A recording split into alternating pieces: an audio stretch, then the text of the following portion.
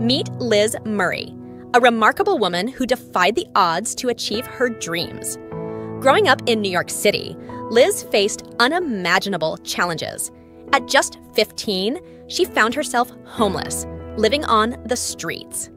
But even in the darkest of times, Liz held onto one thing her dream of education. With sheer determination, Liz refused to let her circumstances define her.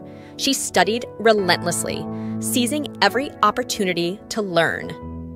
Her hard work paid off when she earned a scholarship to Harvard University, defying all expectations.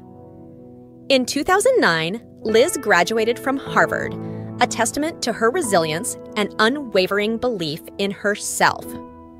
Today, Liz Murray continues to inspire others with her story, proving that no obstacle is too great to overcome.